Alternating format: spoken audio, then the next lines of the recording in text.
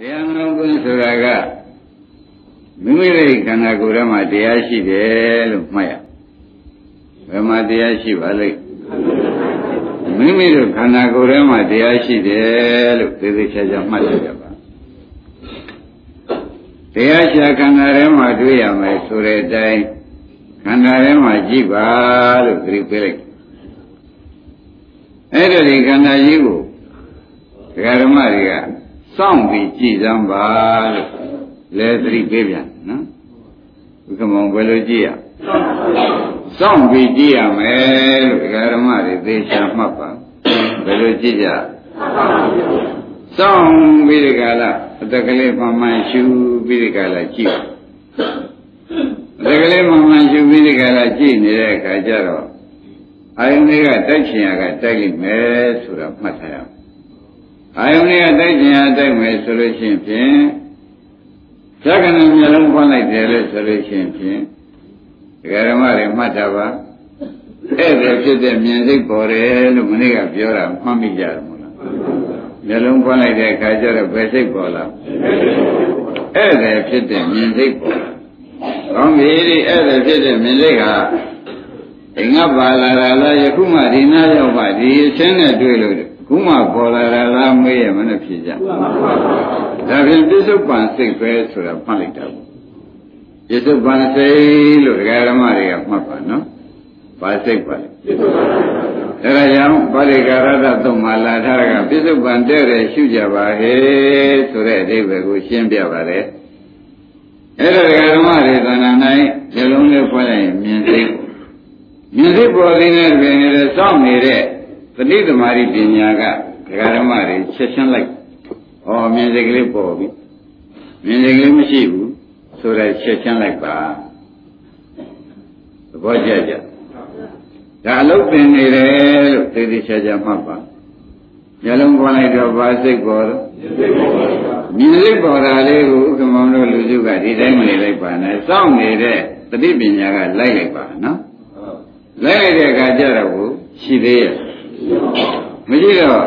သက္ကဝိညာဏအိဋ္ဌံဆိုတဲ့အတိုင်းမြင်စိတ်ကလေးကိုဖြစ်ဖြစ်ဖြစ်ပြီးပြတဲ့ဓမ္မလေးရဲ့လို့စောင့်နေတဲ့တရားကမမြင်ပေဘူးလားစောင့်နေတဲ့တရားမြင်တော့ငါမြင်သူမြင်လားလို့မေးတဲ့အခါကြလို့ချင်းငါမြင်သူမြင်ဆိုတာမဟုတ်ပါဘူးမြင်စိတ်ကလေးကမြင်ပြီးတဲ့အခါလားမြင်စိတ်ကလေးကမမြင်မဲနဲ့ပဲချုပ်သွားတယ်ဆိုတာဓမ္မတွေမှိုက်တယ်ပေါ့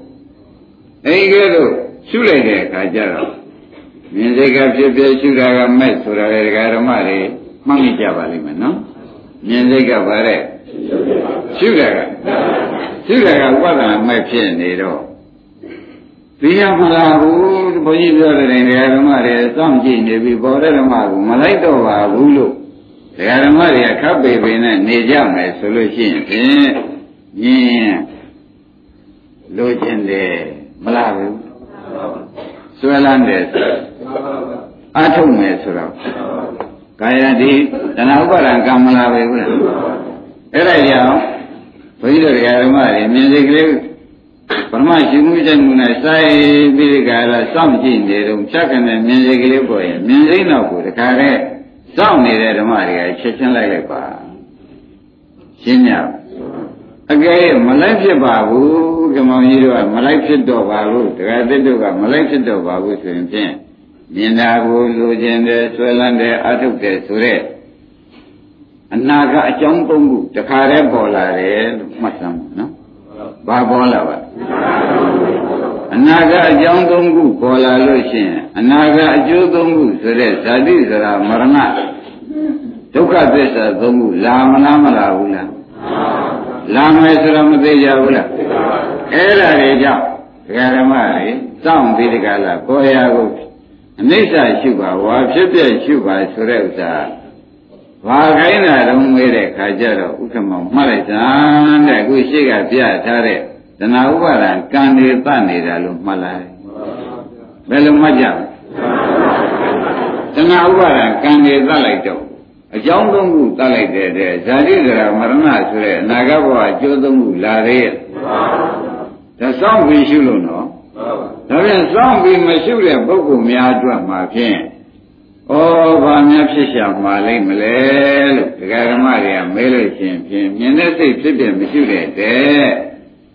လူကျင်တယ်ဆွဲလန်းတယ်မရရအောင်အထုတ်မယ်ဆိုတဲ့တရားသုံးခုမလားဘူးဒါအနာဂတ်အကြောင်းဟုတ်ဘူးလား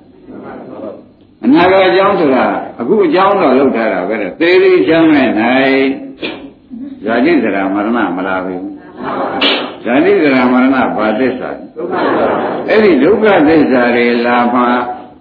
စိုးလို့ဘုန်းကြီးကဒကာဓမ္မတွေမြင်စိတ်ပေါ်လို့ရှိရင်မြင်စိတ်ဖြစ်ဖြစ်ရှုပါအဲ့ဒါစိတ်ကလေးပါနာမြင်သူမြင်မဟုတ်ပါဘူးခုမှအာယုံဒွါရတိုက်ဆိုင်လို့ပေါ်လာတာပါအဲ့ဒီအာယုံဒွါရတိုက်ဆိုင်လို့ပေါ်လာတာလေးကိုအများတို့ငါလည်းမထင်ပါနဲ့သူလည်းမထင်ပါနဲ့အနိစ္စလေးလို့မထင်ကြအောင်လိုက်ပါအနိစ္စမို့အနိစ္စသိအောင်လုပ်ပါလို့ ဆိုတာအလုတ်ပင်တာပဲလို့ဒကာဓမ္မတွေမှတ်လိုက်စမ်းဒါအလုတ်ပင်နေတာတော့ဒကာဓမ္မတို့မြင်မြင်စိတ်ကလေးဘာလို့อ่ะမရှိရင်ဘယ်လိုလိုက်ရမလဲသနာဥပါဒံကံလိုက်တာသေတိချမ်းမဲ့နိုင်ဘာတွေများအမွေရမလဲလို့မေးလို့ရှိရင်ဇာတိဇရာမရဏရဘာတွေရမလဲဇာတိဇရာမရဏရနိုင်မယ်ဆိုတာမသိကြဘူးလား ဩဒါဖြင့်ဒကာဓမ္မတို့မြင်မလေးပဲဘာပြည့်ရှိသလုံးဆိုတာဥက္ကမောင်တို့ဒီတကမသုံးလိုက်ပါနဲ့လို့ဒကာတက်တို့ကိုသတိပေးလိုက်တယ်ရှင်းရလား